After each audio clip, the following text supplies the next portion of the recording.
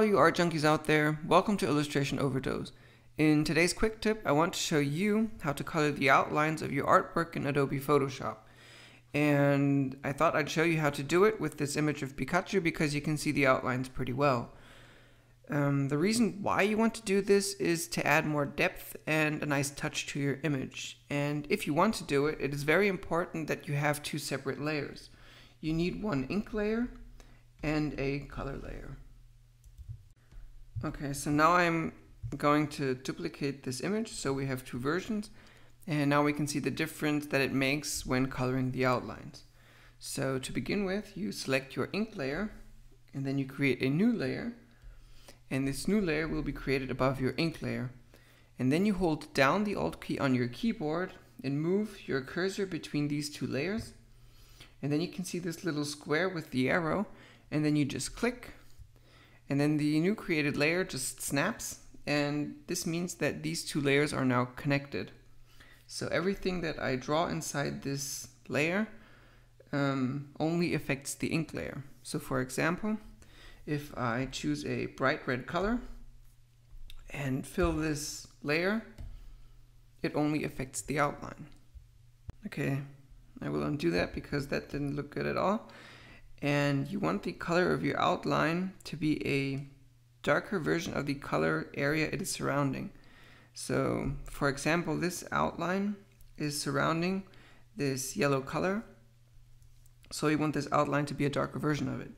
So to do that, we press I on our keyboard and now we have our color picker and then we just press inside this yellow area and then you can see we have color picked this yellow then we just press it. And now we can drag this circle down. So we have a darker version of this yellow.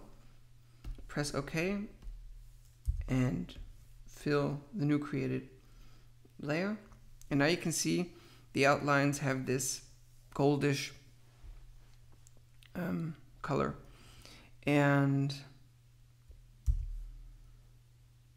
we also have other areas, not just yellow, but red as well. And we want these outlines of the mouth and the cheeks to be red.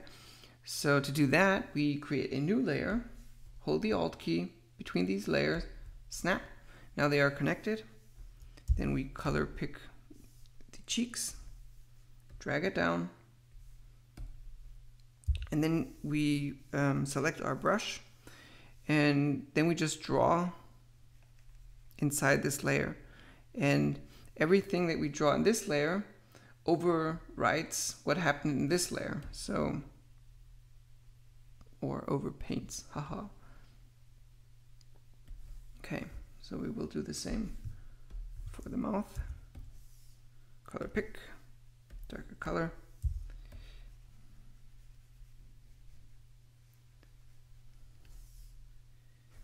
And black for the eyes and nose. So, um, you could have drawn everything inside of this layer. So if I show you, for example, if I just pick this red and then I draw inside this layer, we could have colored everything inside of this layer. But the reason that we created separate layers is now if you don't like the outline color of your yellow, you just select your layer, pick a different yellow, and just fill the layer and then it only affects the yellow color and not red and not the red and the black. So I hope you enjoyed this tutorial or quick tip and have fun with it. And if you liked it, please subscribe.